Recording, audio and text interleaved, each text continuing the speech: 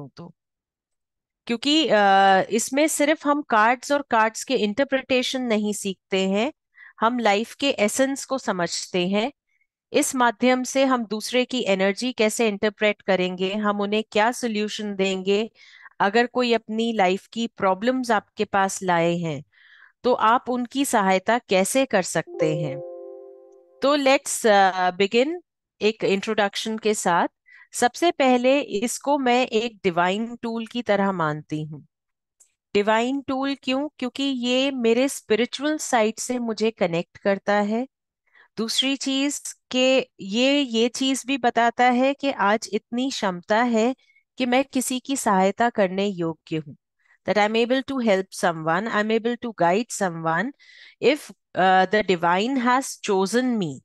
क्योंकि हम लोग का ये कई बारी हमें गलत फहमी हो जाती है कि आई चोज टैरो नहीं। कोई टैरो को चुन नहीं सकता, कोई टैरो को खुद से रीड नहीं कर सकता, until and unless you are destined to do it. आप नहीं चुनते हैं इन एनर्जी जोन्स को, ये जोन्स चुनते हैं आपको। अगर आपने चुना होता इसे तो आप शायद स्टार्टिंग से ही कर रहे होते या आप जानते होते इसको।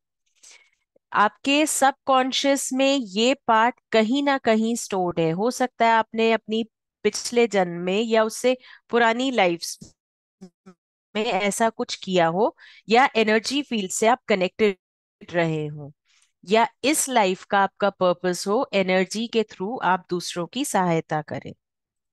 तो इसलिए मेरे लिए तो ये बहुत डिविनेशन का एक टूल है, एक डिवाइन टूल है, क्योंकि इससे लोगों की सहायता भी हुई है और कई लोगों का इससे मार्गदर्शन भी हुआ है। Now the things that will be covered हाँ जी, वंदना जी, आपको रिकॉर्डिंग मिल जाएगी। इन केस अगर आपकी कोई क्लास मिस होती है तो रिकॉर्डिंग्स अपलोडेड होती हैं but please go through it अब हम आए हैं कि हम इस जर्नी में क्या क्या चीज़ें कवर अप करेंगे। सबसे पहली, ये थियोरिटिकल एस्पेक्ट्स हैं जो हम देखेंगे, जैसे टैरो क्या है बेसिक्स क्या है बेनिफिट्स क्या है हिस्ट्री क्या है टैरो की।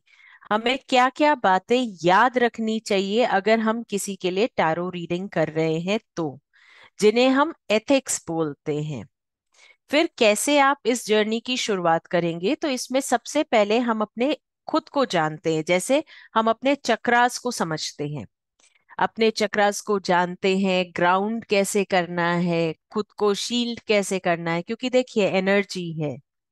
हम सब एक एनर्जी का अलग जोन में रहते हैं और हम सब एक एनर्जी कैरी करते हैं अपने साथ।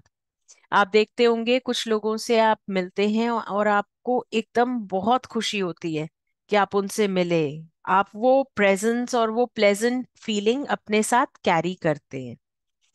कई बार ये क्या होता है कि हम किसी से मिलते हैं और उनके उनसे मिलने के कुछ देर बाद ही हमें हैवीनेस महसूस होती है या हमें अपनी बॉडी के किसी पर्टिकुलर एरिया में पेन या दर्द का एहसास होता है। तो इस फीलिंग को हम कहते हैं कि उनकी एनर्जी आपके ऊपर आ गई। राइट या आपने उसे अब्जॉर्ब कर लिया। कुछ लोग बहुत सेंसिटिव होते हैं, इतने सेंसिटिव कि दूसरों का दुख सुन के ही उनकी आँखों में आँसू आ जाते हैं। और वो उनकी एनर्जीज भी अब्जॉर्ब कर लेते हैं। तो ऐसे केस में अब आपके पास अगर बहुत सारे लोग अपनी प्रॉब्लम्स लेके आएँगे तो आपकी फैमिली लाइफ डिस्टर्ब हो सकती है या नॉर्मल लाइफ डिस्टर्ब हो सकती है। तो उस केस में हमें अपनी एनर्जी को कैसे प्रोटेक्ट करना है? कैसे खुद को ग्राउंड करना है, ये सब टेक्निक्स हम इसमें जानते हैं। फिर टैरो कार्ड्स बेसिकली कलर्स और सिंबल्स का एक कॉम्बिनेशन है। तो ये जानते हैं हम कि वो कलर्स और सिंबल्स को हम कैसे इंटरप्रेट करेंगे अलग अलग सिचुएशन में। जैसे एक ही कार्ड अगर किसी के करियर के लिए आता है तो उसमें हम क्या कहेंगे? अगर किसी के रिलेशनशिप रीडिंग में आता है तो उसमें हम क्या कहेंगे?